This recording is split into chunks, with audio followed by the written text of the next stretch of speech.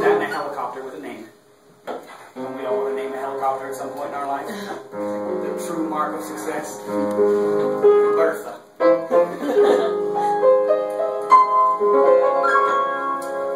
Anywho, one must be careful when one goes up to strange doors asking for uh, asking for anything really, uh, because people often will give you help, but they, they want things in return.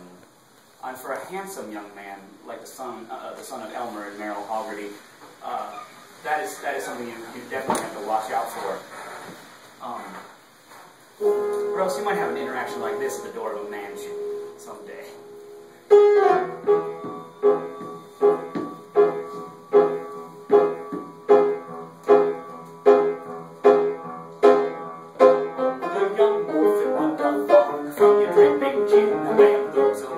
Me. You